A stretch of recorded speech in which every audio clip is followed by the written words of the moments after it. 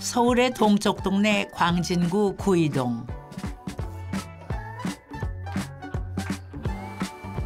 서울은 어디를 가나 꽃길이네. 꽃향기에 이끌려 걷다 보니 출출해지는 시간입니다. 아, 저기 뭐 맛집인가? 손님들이 막 줄을 서서 계시네. 얼마나 맛있길래 아, 저렇게 줄을 서서 기다릴까? 옳거니 제대로 한 집 찾은 것 같네요. 여기 줄 서는 거예요? 네. 예? 네 네. 아, 안녕하세요. 반갑습니다. 아, 자주 와요? 네, 자, 자주 오진 않는데 학교 바로 앞이라. 아, 학교 바로 앞이라. 아, 그래서 여기서 기다리는 거예요? 네 네 네. 오, 들어가면 돼요? 잠시만요. 몇 분이세요? 한 명.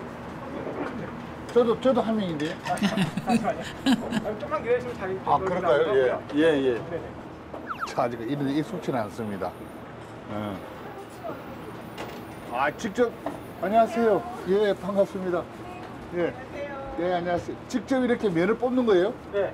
어, 칼국수 면을 몇 년 됐어요, 여기서? 아, 저희 5년 됐어요, 5년. 5년. 네네네. 아, 5년 만에 이렇게 많은 사람들 올 수 있도록 만든 뭔가 비법이 있습니까? 이거죠, 이거. 아, 미는 거. 야, 저 칼질하는 거 봐. 아유 국수 써는 것만 봐도 기다림이 지루하진 않겠네요. 아, 그 기계로 하는 것보다 이렇게 직접 손으로 만들어서 아, 저 자리 비었는데 들어가 앉으면 안 돼요? 어, 앉으셔도 돼요. 들어갈까요? 네네네. 예, 알겠습니다. 용케 한 자리 발견했네 만기 씨. 아, 같이 앉게 됐네요. 칼국수 집에 왔으니 간판 메뉴를 먹어봐야겠죠? 예? 칼국수? 예, 칼국수를 하나 줘보세요. 예. 아이고, 맛있겠다. 예? 배 출출할 때 진짜 한 그릇 뚝딱 먹으면 되게 맛있겠다. 줄 서는 동네 칼국수 집의 비결. 그 첫 번째는 주문 즉시 반죽을 밀고 국수를 썰어 쫄깃하게 끓여내는 정성 담긴 조리 철학에 있습니다. 순한 사골 국물에 호박 대파 썰어놓고 간미로 만든 국수를 한 소끔 끓여 신선한 김가루 얹으면 끝. 90. 한 개만. 여기에 그날 담근 배추 겉절이가 짝꿍으로 나갑니다. 손으로 직접 밀어서 만든 칼국수입니다. 예. 김치도 직접 당, 담근 거고요. 네. 아, 이렇게 바빠서 맛있게 먹겠습니다. 네, 맛있게 하세요. 예. 네. 아, 야, 이게 아유 진짜 옛날 칼국수 보기만 해도 군침이 넘어가네요. 세상에 소리까지 맛있네. 아이고 부러워라. 면이 좋네. 네. 음, 음, 수파로 만든 거. 음, 또이 거 쫀득하니 아, 맛있다 이게.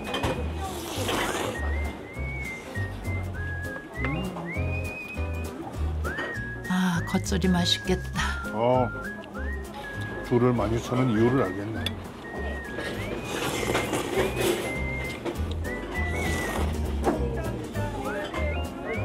아, 국물 안 먹어요.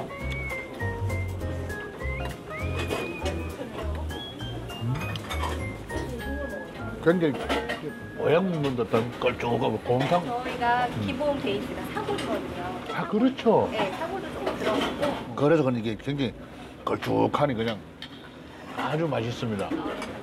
예. 국수 한 올도 남기지 말고 다 먹어요 만기 씨. 옳지 옳지 그래야지 그래야지. 지금 이건 뭐야? 저희 매일매일. 배추를 네. 매일 매일 김장해요? 하루에 몇 봉씩? 저희 많이 할 때는 한 아홉, 아홉 포기? 음 그러면 딴 데도 칼국수를 했었어요? 아, 이제 처음에 배울 때 네. 저희 가족, 친척분들 다 칼국수 하시거든요. 네. 한 2년 정도 배우다가 응. 한 5년 전쯤에 이제 가게를 냈죠. 그럼 그 전에 뭐 하셨어요? 그 전에는 회사 생활 하다가 회사? 네, LG 디스플레이라는 회사 다니다가 그거 좋은 회사인데? 근데 거기를 관뒀다고요? 네네. 네. 네, 많이 엄청 많이 고민했습니다. 엄청 얼마나? 계속 고민했죠. 계속 딴 걸 해야 되나? 계속 회사 생활 할까? 그 평생 직장이고 그게 다닐 때 결혼을 했을 거 아니에요. 그렇죠. 속아서 들어간 거예요. 여기서 이거 할 줄 몰랐어요. 그래. 남편이 직장에서 봉급 타는 거 따박따박 그죠? 저, 저 가게 차릴 때는 그냥 카운터만 보라고 했어요. 진짜 아무것도 안 해도 된다고. 어, 어, 자기 다 한다고. 네, 근데 요즘엔 저 아프면 가게 문 닫아야 된다고 몸 관리 잘 안 하고요. 뭐 왜 그래 쏘겠어요?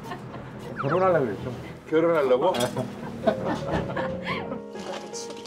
좋은 직장, 안정된 연봉, 보장된 내일이 그 앞에 있었습니다. 그런데 머릿속엔 자꾸 물음표가 떠올랐답니다. 이 길이 행복한 길일까? 전 제 운명은 제가 좀 하고 싶었거든요. 그런데 회사를 다녀보면은 저의 그런 운명이 제 의지가 아니라 상관들에 의해서 결정되는 경우가 엄청 많았고요. 저희 그 부모님도 하고 계셨고 친인척분도 하고 계시고 언젠가는 칼국수 장사를 하겠다 싶었는데 그게 제 처음 계획보다는 한 10년 정도 빨리 이제 진행이 된 거죠. 꽃길을 놔두고 선택한 고된 길일지 모릅니다. 하지만 그의 국수를 찾는 손님들이 답을 줍니다. 행복은 멀리 있지 않다고 말입니다. 요 가게 위치 자체가 사람이 몰리는 자리는 아닙니다. 근데 왔다 갔다 하시는 분들이 보니까 젊은 애들이 땀 흘리면서 직접 썰고 배추도 직접 담그고 젊은 애들이 그러다 보니까 호기심에 왔다가 생각보다 맛이 좋고 입소문이 퍼지면서 한 명, 두 명 이렇게 오시다 보니까 이렇게, 이렇게 된 것 같아요, 지금까지. 내일을 훤히 보고 걸어가는 사람이 있을까요? 하루하루 성실한 땀 흘리며 걷다 보면 그 길가에 꽃 피고 시원한 그늘도 드리워지는 거겠죠.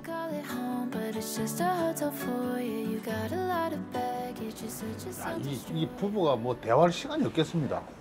같이 있어도 같이 있는 게 아니다, 그지요? 예? 좋아하는 사람끼리. 그래도 얼굴은 매일 아, 지금 오히려 더 행복하시죠, 그럼? 네, 훨씬 나아요. 만약에 직장 생활을 했으면 9시, 6시 이렇게 출퇴근 시간이 정해져 있고 야근도 있고 회식도 있고 한데 여기는 제 나름대로 시간을 하고 애들 키우는 데도 한 공간에서 일하고 살아가는 사람 쳐다보고 이렇게 하니까 훨씬 더 좋다 그러는데. 아, 그래요? 예. 그랬어? 어, 어. 안 그러시는가 봐. 아, 저도 그렇죠.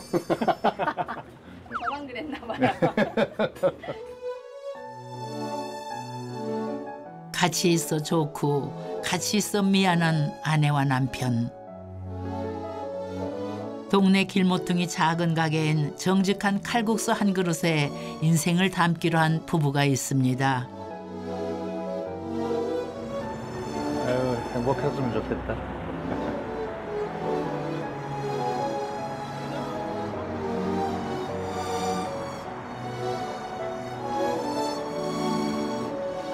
줄을 서서라도 만나고 싶은 한 그릇의 진심이 있습니다.